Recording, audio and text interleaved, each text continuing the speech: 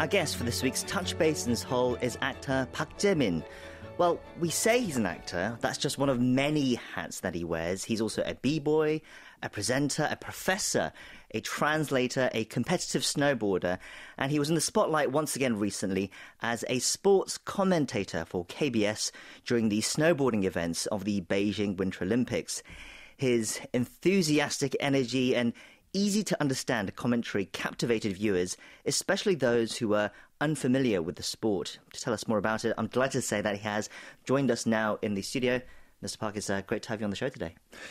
It's always good to be back here. Hi. Yes, I should say it is great to have you back because uh, you were on the show for Touch Basins Hole four years ago. yeah, that well. was exactly four years ago. Exactly before and, my and, time. Yeah, it's so amazing that how time flies so fast. Exactly. Yeah. Yeah. So you were talking then about your experiences commentating during the Pyeongchang Winter Mm-hmm. Olympics, but now we have you back to talk about how the commentating went for the snowboard events for the Beijing Winter Olympics. Yes. Your commentating, they went viral this time as well. Oh yeah, it was it was it was very surprising because I thought Pyeongchang was the peak. It might have been the peak for my commentating because uh, it was surprising for the viewers as well because I was known as an actor or maybe some variety shows. People didn't expect me to be a commentator for snowboarding, so that was surprising back then. And 2022, people already knew that I was going to be the commentator. So hmm. it was not surprising like in 2018, but it went viral like like more harder than 2018. so that was very surprising and it was really grateful and thankful for people responding to my commentating and try to understand the sports because snowboard here in Korea is not that big and my purpose of commentating was try to bring the sports to public and try to make it more public, uh, more public.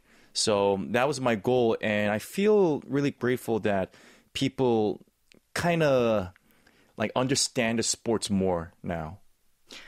One of the reasons it went viral was because some of your commentary was so colourful as well. Uh, one of the ones that went viral in the snowboard slopestyle event, where there are various grinds and Yeah. jumps for athletes to showcase their skill. You made a comparison saying that each obstacle on the course is like an ingredient for a chef to play with. That given the ingredient of pork, someone might make samgyeopsal or barbecue pork or some other dish, and that looking at how they use those ingredients, you can see their whole personal history from the skills that they've learned to their personality as well. Whilst on one hand people found that comparison amusing, they also found it very interesting and informative as well. What do you make of uh, how people reacted to that? Yeah, I mean, let's think about uh, cooking a ramen. Like somebody puts the, the the spice before the noodle, or someone puts the noodle first. So it depends how how you grew up watching somebody else cooking the ramen, or like pork. Somebody like flips it like hundred times, or somebody flips it only only once. So it depends on the person, like how you understand and how you try to demonstrate your personality on the slope. So that was the idea. Like, there's no rules. Sure, but how did you come up with that kind of comparison? Was it something that you thought up on the No, spot? no, no, I don't was know. It, it was just improvising. It, it just came up, and most of the comments I I make on live show is not on plan. Like I don't even remember what I what I say on TV. So when I when I hear back uh, and play back the videos that what I've done on live show, I get surprised myself. Like what that was nice. Like pork. Oh, that was that was that was good. As I said, people found it amusing at times as well. But Mm-hmm. you said in an interview that you were deadly serious when you're doing it as well. Oh. I was always serious. I never try to make people laugh because I'm so serious about this sports, snowboard. And what I was really uh, worried about was I'm just, I didn't really want to make fun of any athletes or any type of mistakes. So every single time I was so serious, and every single time I was trying to show the viewers that how hard they came up with this type of tricks, maneuvers. And even though they made a mistake, it was really hard. So I was so serious, but uh, I think I was too serious that kind of made people uh, like amused. Right, and you know yourself how difficult uh, some of their skills are because you yourself are a competitive uh, snowboarder. yeah. Uh, well, actually, it's a different event. So we have five events at Snowboard Games. We Sure. have like parallel slalom, we have slopestyle, half pipe, big air, and snowboard cross. But my my game was parallel slalom. So I was like a speed racer. So I'm well, I'm not the type of guy of doing like a lot of tricks, but it has the same principle. Hmm. Like you just throw everything you can do on the slope to to show the the smallest thing. So yeah, I pretty much understand how the athletes felt on the slope when they make a mistakes or when they do well. You say you improvise a lot, but you also seem to know every detail about every athlete from their birthdays to their professions outside of the sport, uh, such as whether they were a policeman or a teacher. It seems that you really put a lot of effort into the preparation that you do for your commentary. Yeah, I tried a lot because 2018 it was my first time commentating on snowboard and I didn't really have any knowledge or didn't know how to commentate about the athletes. So after 4 years I came up with the idea uh, so what I've done good in 2018 was I really told uh, a lot of stories about the athletes, like background stories. So I kind of dig more.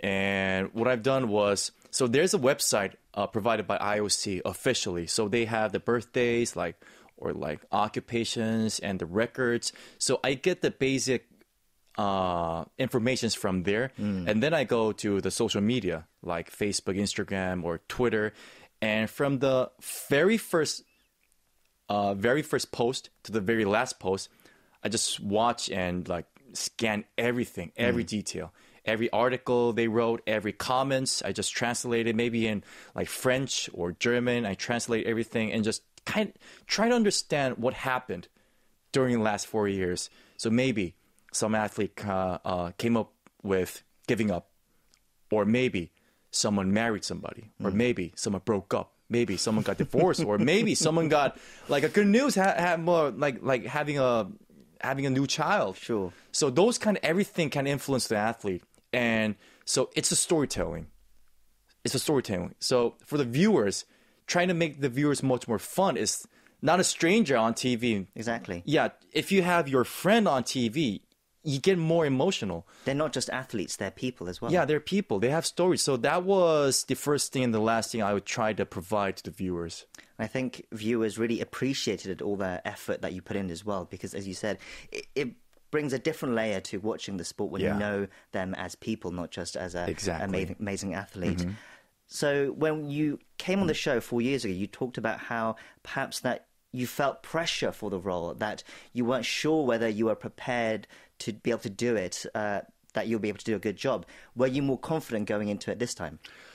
Uh, I would say the pressure was the same or even harder because uh, it wasn't my first time. So I had to step up. I had to be better than four years ago. But the difference was maybe more pressure, but I had more ideas and I had, I knew how to prepare this time. So maybe the pressure more was more tense, but I could say that I was ready for this time. And what did you hope that people took away from your commentary this time? the story and the spirit of sports. Like slopestyle after uh, the final run of Zoi Sadowski-Synnott uh, from New Zealand. So she was at her second place, and another racer was currently at the first place. And after Zoe uh, took her last last trial, and she took the first spot. So the rank it got switched first to second, second to first.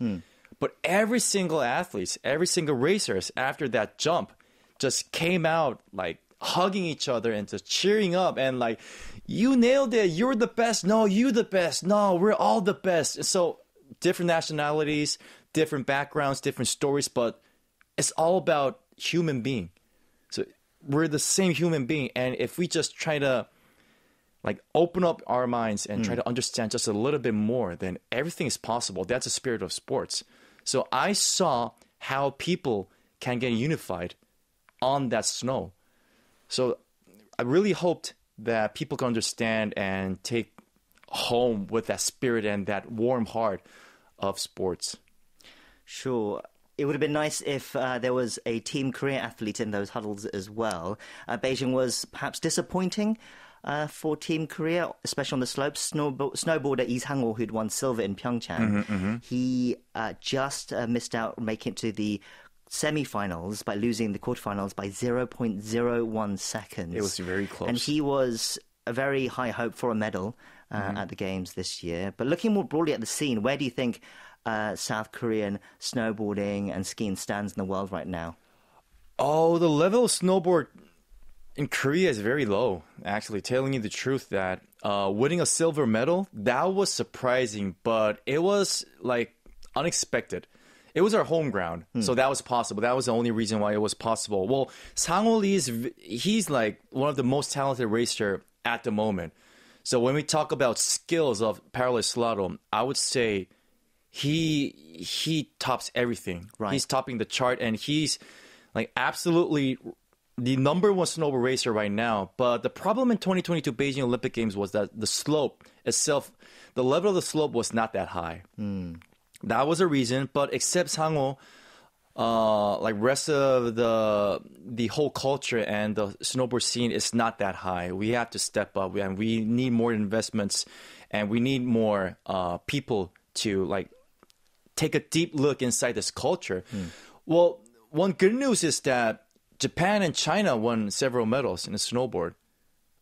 So that means like Korea is not that far different from hmm. China and Japan, which means that we can see hope.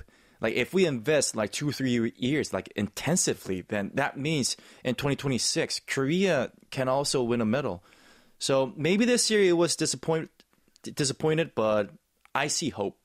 Yeah, you Yeah, see what hope, I see you is see hope. potential, and hopefully Yeah. uh, your commentary and exposure that you bring to the sport as well will help uh, bring up a new generation of snowboarders and skiers. Most definitely. As I mentioned at the start, you do introduce yourself. You do introduce yourself as an actor, and I believe your most recent role was on stage in an adaptation of King Lear as well. Oh, Is that yeah. right?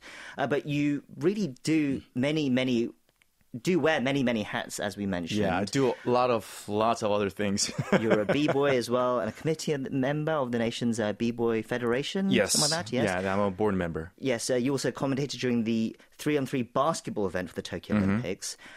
We should also note that you even have a doctorate in global sports management, right, from Seoul National University. Yes. Uh, currently, I'm yeah I'm studying for my PhDs.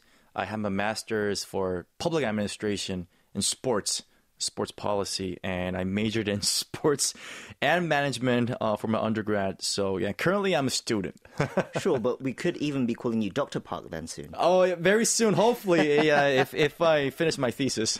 Sure, that suggests to me that you do have long-term ambitions when it comes to being involved in sport uh, for the future. I mean, it's hard to pin you down, actor and sports uh, enthusiast and sports expert, really now as well. Where do you see uh, your best in best you in? Uh, what what brings you the most joy? Perhaps we should say. Uh, What would you like to be known for? That's a hard question, and that's a very deep question. I would love to call myself a challenger. So when we young, when we're young and when we grow up, we have so many hobbies and we have so many like like tricks in our bags. Maybe we like somebody loves like like 10 different things, but when we grew up, as we grew up uh like our life or the world just they just keep tell us to, to cut it out, try to slim ourselves. But my question was, why should I? Like, can I just keep them keep this all because it represents me? So because I have so many tricks in my bag, that makes me whole. That make makes me a whole Jae-min Park. So I try to keep everything I used to love, and that became my hobby, which became my professions now. And the best part of or what people want like how people want to call me i just want to be myself like maybe an actor sometimes maybe a commentator sometimes maybe a professional b-boy sometimes or maybe um, phd student some, sometimes but as a whole I'm just Jamie Park, and I'm challenging every single day. Even now, I'm doing a radio show right now, and this is very challenging right now. yeah, I just I just love to challenge, learn, Sure. trying to learn new things. With that in mind, then, what are your plans uh, for the short and long term? Uh, well, this is a funny thing. I don't really set up any plans in my life. That uh, when I set up a plan, that it kinds of keep me away from a potential uh, opportunity. That's what I feel. So if you really have a strict plan, then if there's an opportunity, try to try to like like join my life. I like I just cut it out because I have a strict plan. Hmm. So what I do is I just try to have no plan. I just follow the flow, follow how people try to treat me. Then like commentating, okay. Oh, what you want to give me a, a job for commentating? Okay, then I'll go.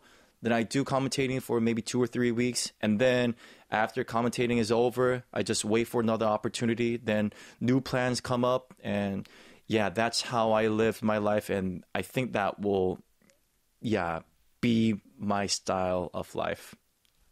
Well, it's been great to have you on the show again. It's been fascinating to continue following your story as well, and I cannot wait to see where it goes next. Uh, we've been speaking to actor, sports commentator, and pro challenger Park for Touch Base in Seoul this week. Thank you once again for your time. Thank you very much. I'll see you back in four years.